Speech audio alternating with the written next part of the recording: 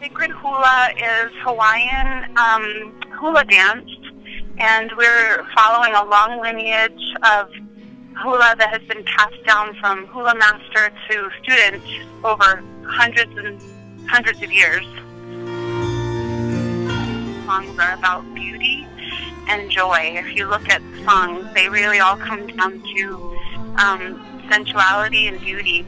So the lower half of the body is keeping the rhythm, um, like the drum beat of the of the dance, and the upper half, half is telling the story. That's where all the, the hand gestures depict the words that are happening in the song.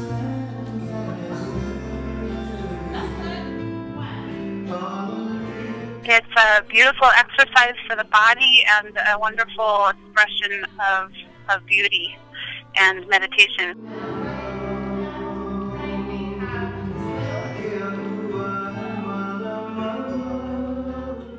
I started the class in Durango because it's a way to actually make a connection with the, the ground on which we walk, then to make a connection with the mountains and the river. Um, I enjoy it, and I got the class going kind of selfishly to to just revive my own practice.